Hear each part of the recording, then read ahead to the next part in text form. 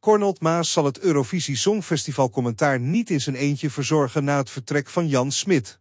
Maas is momenteel samen met Afrotros op zoek naar een geschikte vervanger voor Smit, die onlangs aankondigde te stoppen als concertende commentator.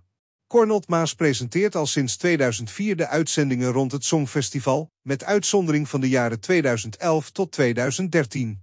Hij deed dit grotendeels samen met Jan Smit, met wie hij goed kon samenwerken ondanks hun verschillende karakters. Nu Smit vertrekt, zoekt Maas naar een nieuwe concertende commentator die complementair is aan hemzelf. Hij benadrukt dat het niet de bedoeling is om twee personen te hebben die dezelfde expertise hebben, maar eerder een duo dat elkaar aanvult.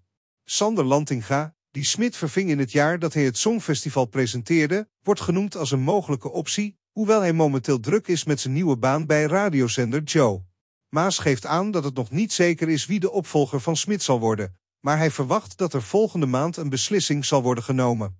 Het werk van een commentator bij het Songfestival wordt vaak onderschat, volgens Maas.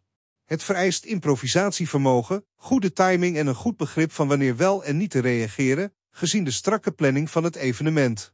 Hij zoekt dan ook iemand met wie hij goed kan samenwerken, die gevoel voor humor heeft en snel kan schakelen. De nieuwe Colseo de commentator zal naar verwachting volgende maand worden aangekondigd.